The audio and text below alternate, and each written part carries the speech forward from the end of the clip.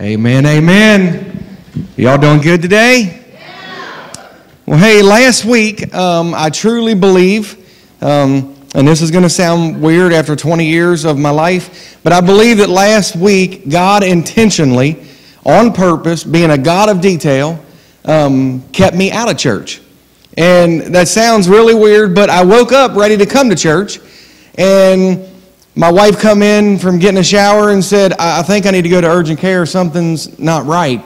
And uh, she ended up having a, a bacterial infection and so, but anyway, it, it delayed um, me even being able to be at church because once we went down there, um, I ended up taking her there, them figuring that out, taking her back home, being at the at the drugstore by 11, getting her medicine, um, going to the Dollar General to get her water, and you know being home. But it was the weirdest thing for me not to be in a church on Sunday morning.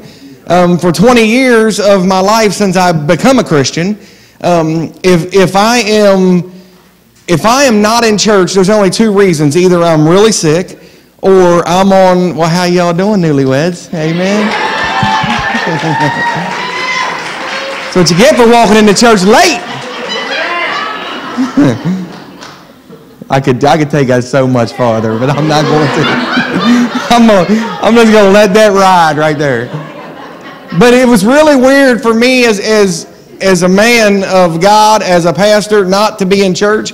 Um, from the very first minute where I accepted the Lord, I went to church. Um, before I ever become a minister or led worship in a church or become an associate pastor or started, started a church, merged with this church, going to church when I become a Christian was just something that was just routine and it's something that I did and I took very serious and I felt that it was a priority in my family.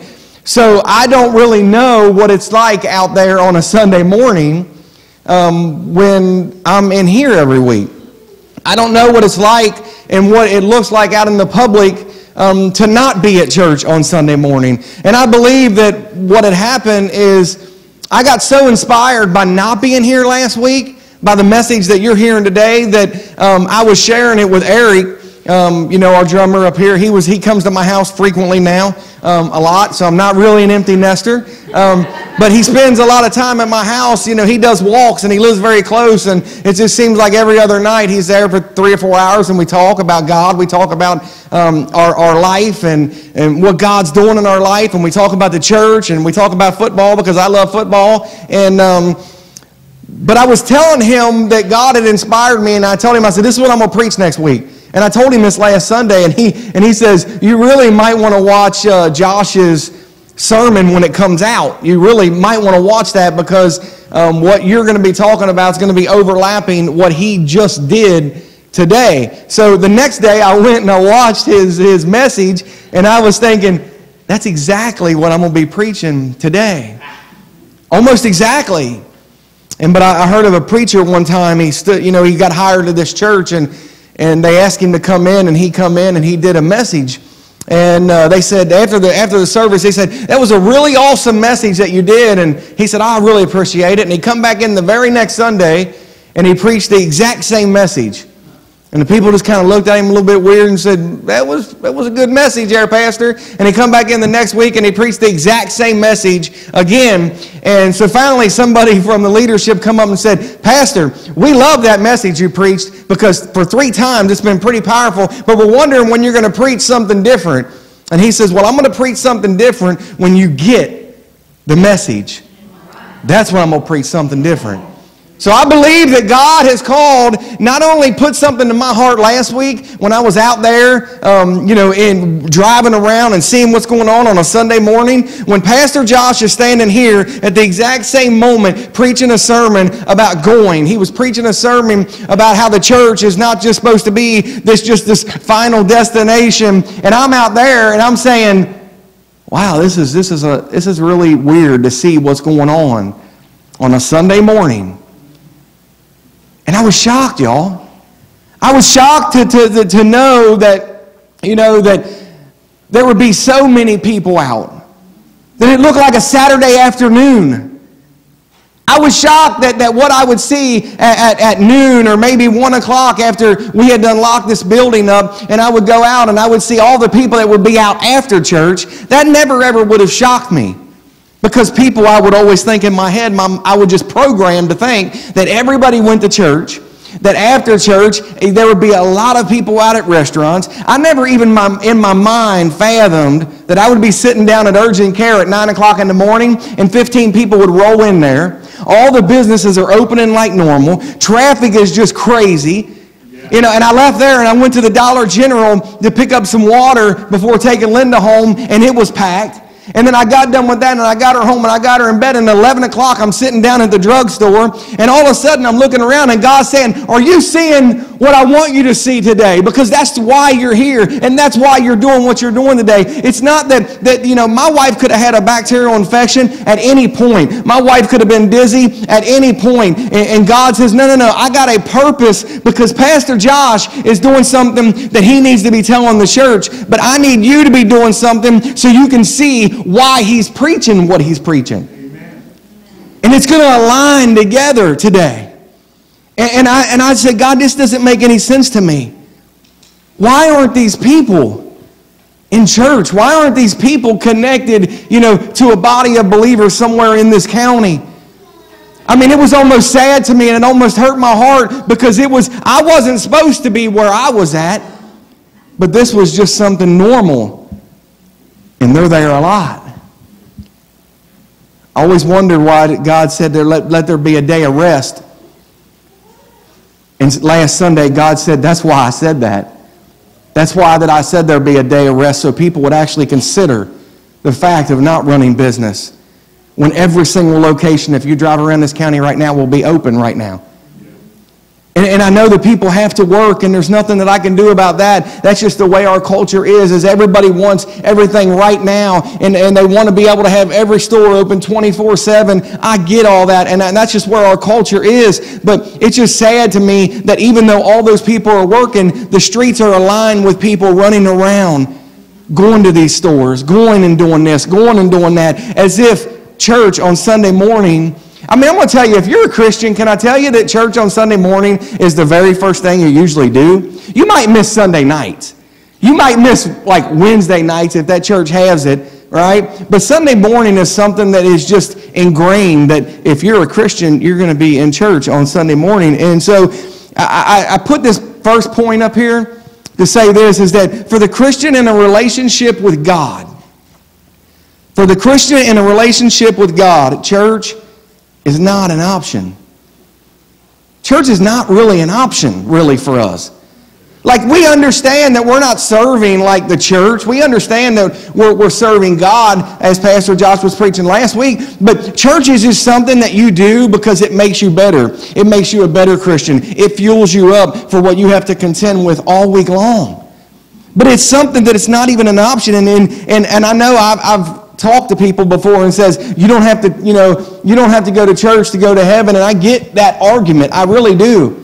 Because what they're saying is they're saying god is bigger than the church and i will fully agree with that. But i think that we forget some of the things that the bible says and one of my favorite verses in the bible is hebrews 10 24 and 25 it was one of my first verses that i ever memorized.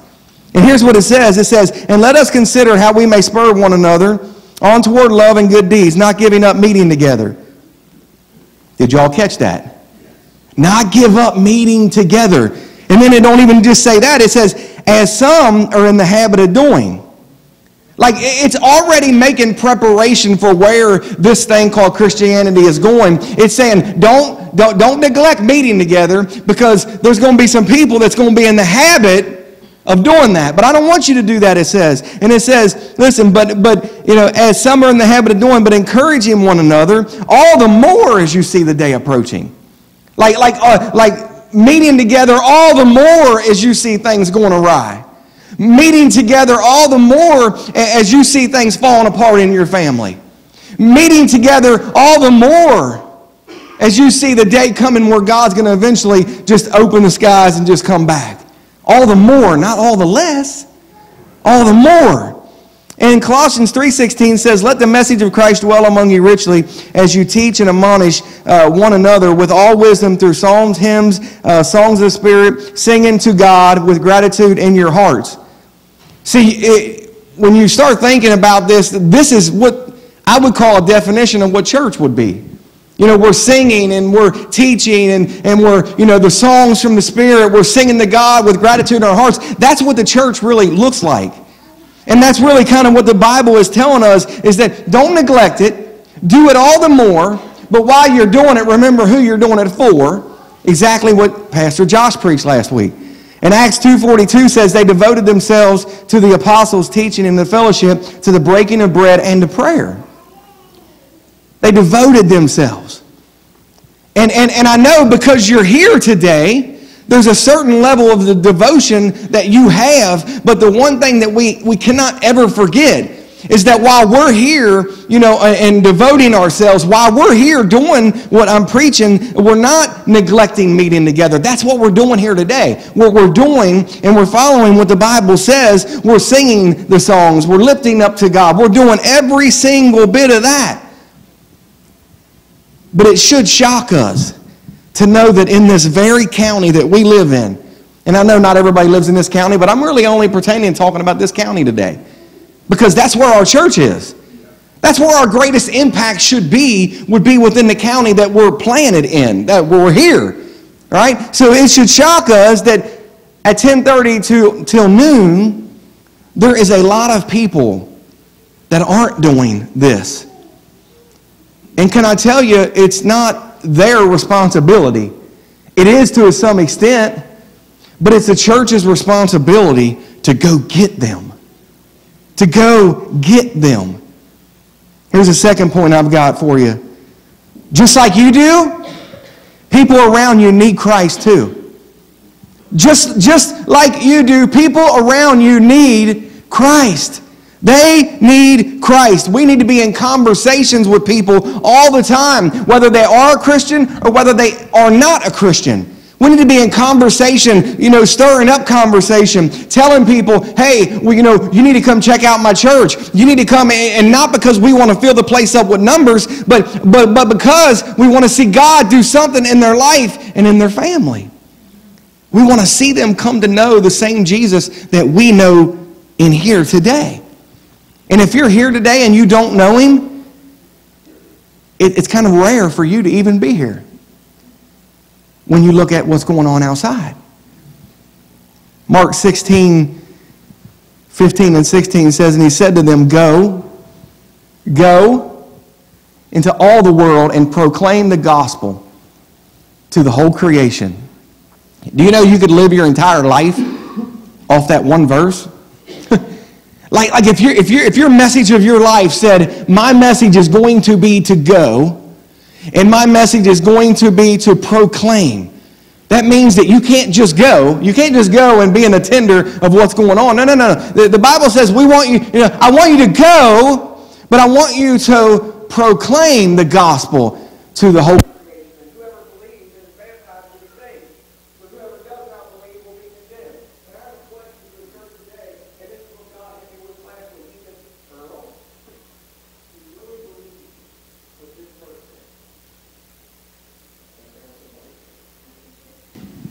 Maybe I turned it off. I don't know. But God hit me when He says, Do you really believe what this verse says? That I'm asking you, I'm telling you what you need to do. You need to go, you need to proclaim. Because the people that come to know me that are baptized, they're going to be the ones that's going to be saved.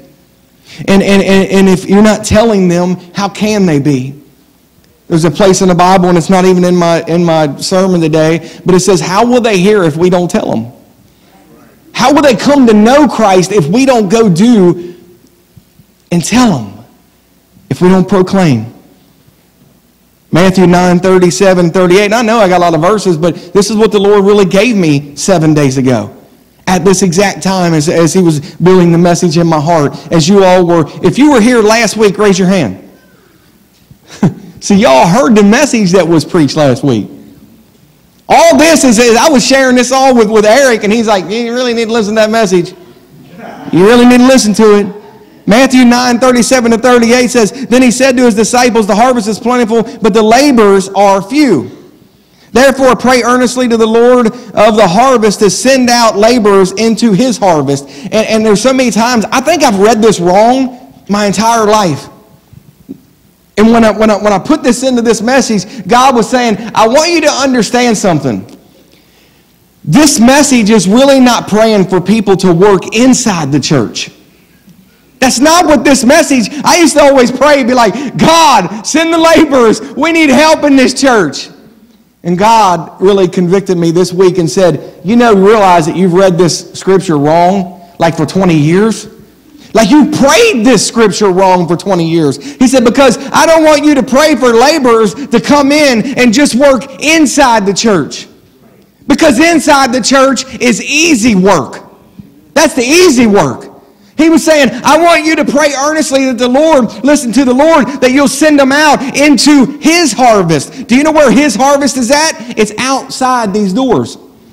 That's where His harvest is at. Every lost soul is a part of His harvest, and He wants us to go pick them, to go pluck them up, to bring them in, to hear the message. We'll preach to them if you'll help get them here. That should be a message and that should be a thing that we all do every single day, every single week. There should be a, not a week go by that we're not inviting at least three to five people to church this Sunday coming up. Every single week we should be investing that. Why? Because it's important. We have all the capabilities of social media, Instagram, Twitter, and all this other things. We have a phone that you can still pick up and dial someone's number. You can go visit. I know we don't do that anymore, but you can go visit. You can walk next door. You can say, hey, I, I just want to let you know what God's doing in my life. I love you to death, and, and, and I just want to let you know, if, if you're not in church, um, you know, hey, man, we would love to have you at our church this Sunday. That's not being condemning.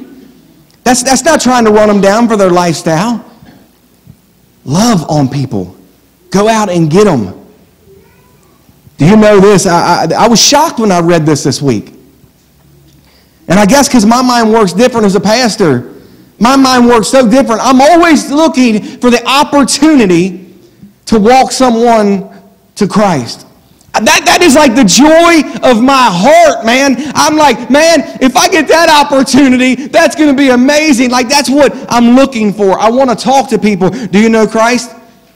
I don't know him. Oh, man, I got to share this guy with you. I love him so much. He is great. God is good. And you need to hear it. Just for the opportunity to lead them to Christ. But I, I read this statistic, and I truly believe it's probably true. It says only one in ten believers have ever led someone else to a saving faith in Christ in their entire life.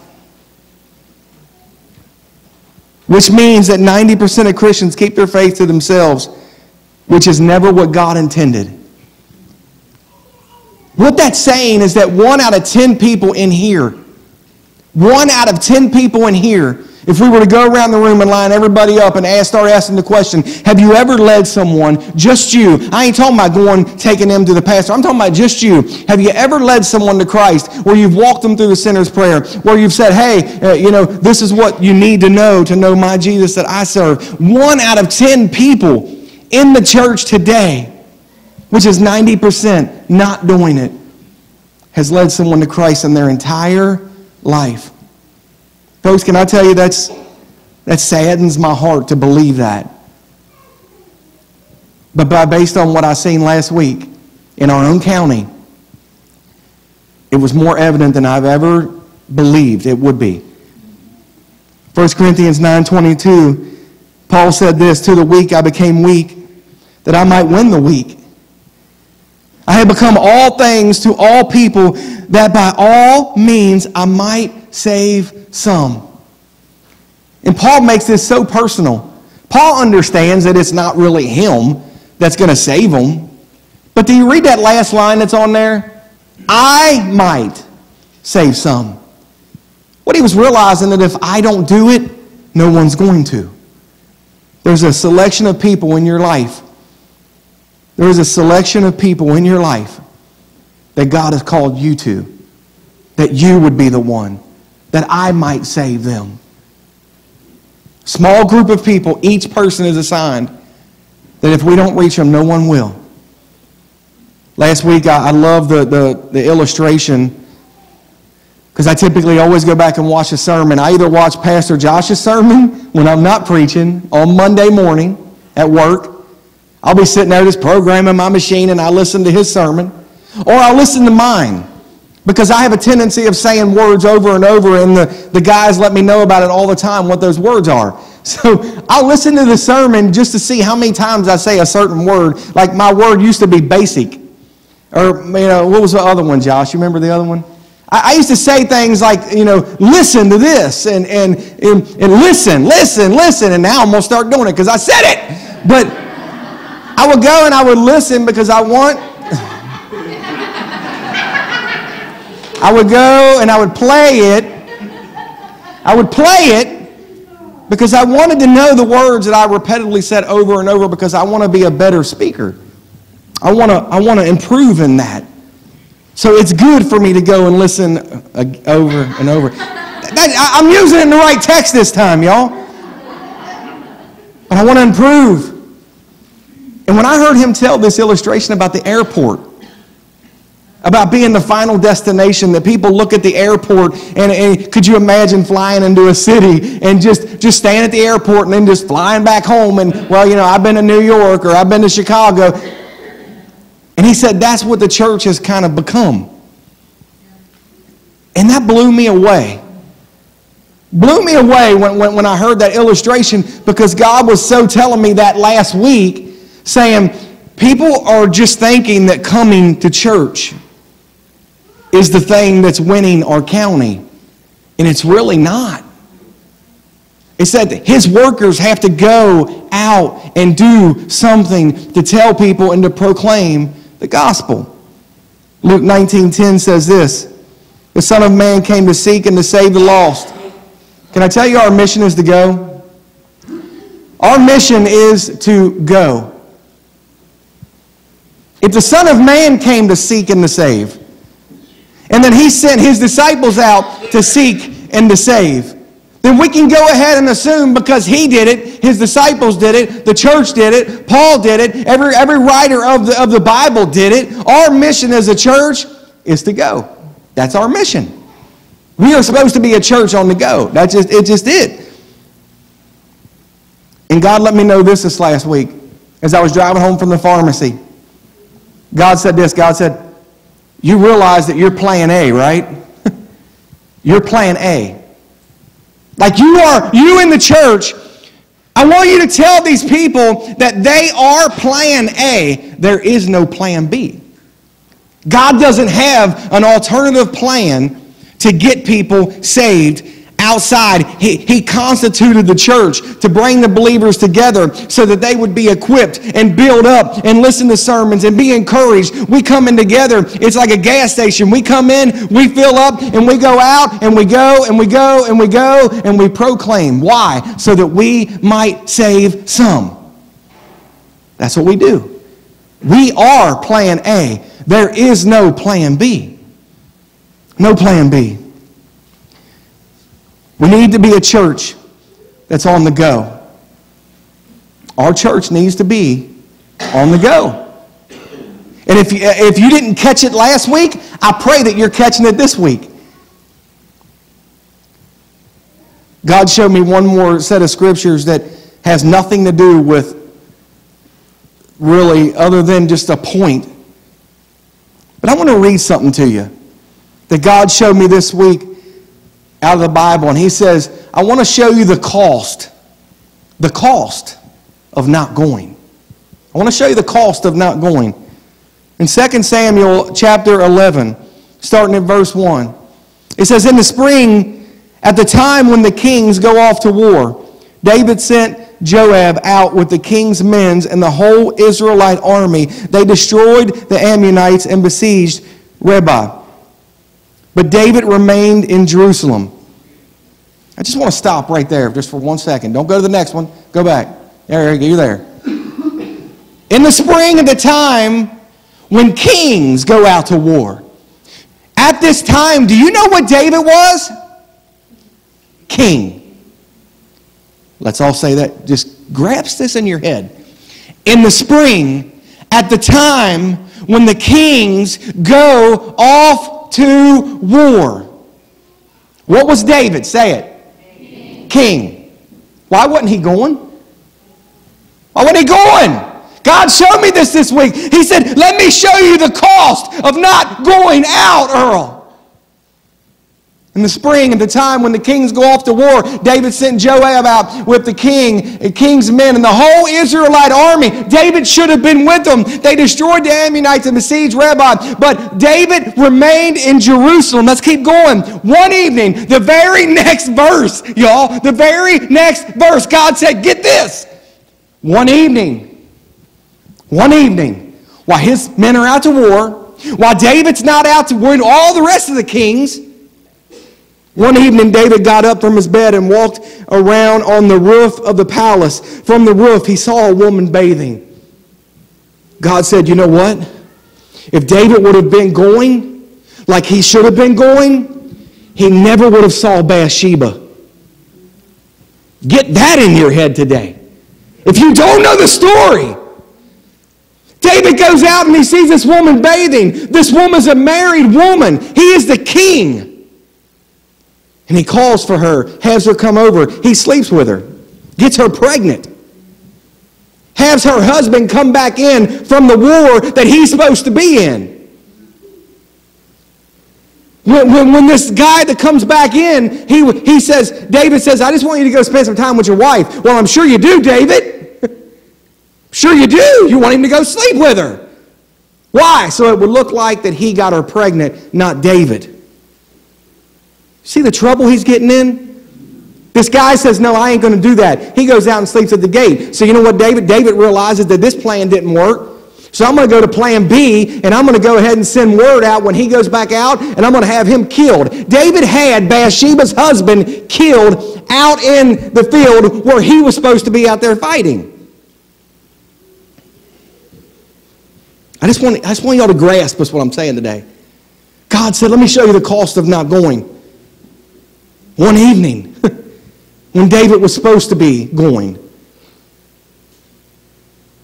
he was at home, not doing what he's supposed to be doing, and got caught up in a mess. And God says, Earl, you know why that's so important for the church? He said, because when the church isn't going, they get caught up in the sin and the mess. They get derailed. They start arguing over carpet and paint colors they start arguing over design. When the church isn't going and it's so inwardly focused and we're not out there proclaiming the gospel, what happens is we fall prey just like David did. We're just sitting at home. And God says, Do you know how you put yourself in a position to be attacked when you're not doing the Word of God? When you're not on the go? I'm going to have the band come on back up here. And about five years ago, I did this illustration. We're, hey, just so everybody knows, we're going to leave the kids back there for this one.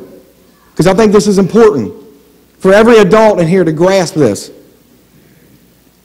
But as the band comes back up, five years ago, I showed the church what it looked like when the church was really on the go. And God said, I want you to do that again so that they can get a mental picture of what the opportunity is. So they can get a picture of what the opportunity is. We can't be like David and stay home. We can't be like David when we're supposed to be out to war. Do you realize the Bible talks a lot about the armor of God and it talks a lot about the battles that we'll fight? We are at war for lost souls.